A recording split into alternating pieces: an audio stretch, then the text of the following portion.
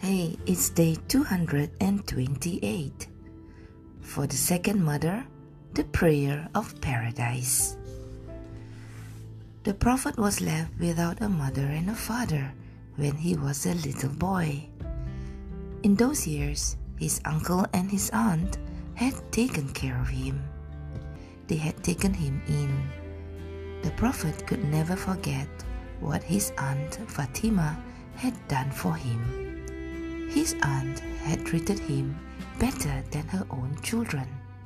Therefore, the prophet used to refer to her as my mother after my mother. He used to visit her often and was never remiss in respecting her. His aunt was very old now, and the poor woman died one day.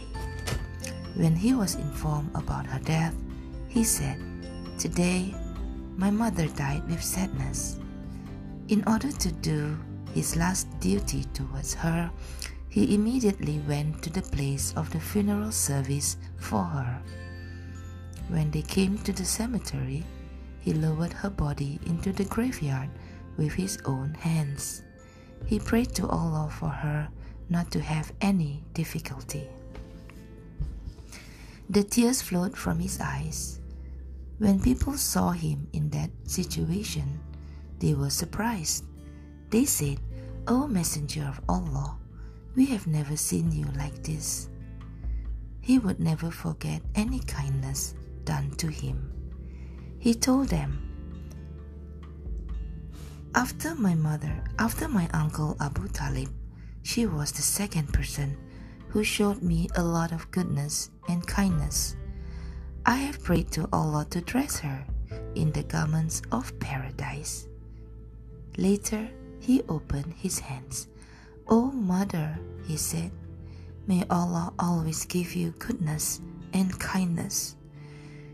You have become my mother. You stayed hungry, but you fed me. You did not wear fine garments, but you clothed me. You did not eat, but you let me eat. Oh, my Lord, forgive my mother Fatima. Place her in your paradise. Accept my prayers, please.